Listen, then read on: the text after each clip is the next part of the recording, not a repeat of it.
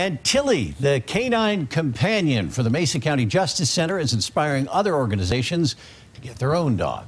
Tilly helps victims in traumatic court cases cope and tell their stories on the witness stand. The Daily Sentinel reports the nonprofit CASA for Mesa County is starting to get their own dog. The process of doing that. CASA helps children understand what's going on in court cases and make sure their voices are heard. Support